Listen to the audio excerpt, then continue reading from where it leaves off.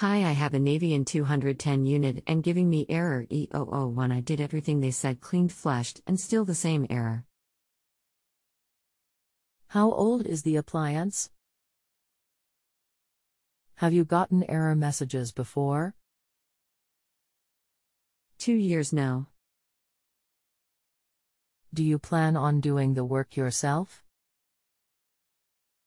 Yes. Anything else we should know to help you best? No. Hi, my name is Emma Navien Service Specialist and I would be happy to help you with this error code.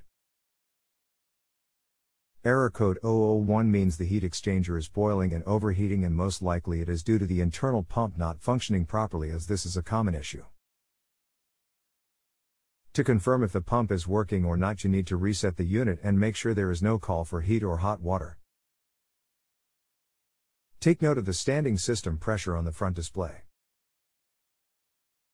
In normal operation, the display will change between the S value, which is supply temp, and the P value, which is the pressure in the system.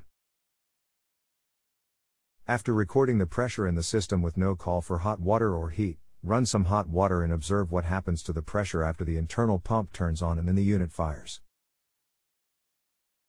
If the pressure does not increase, approx.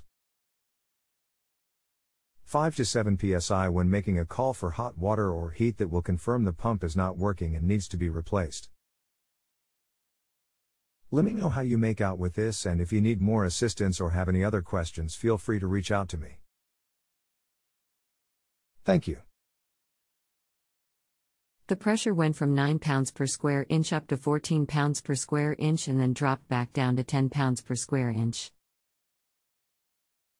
Then the unit started knocking and the temp went up to 210 degrees and shut down, showing the same error code 001. If you have a home improvement or appliance question and want to chat with an expert now visit justanswer.com/ythi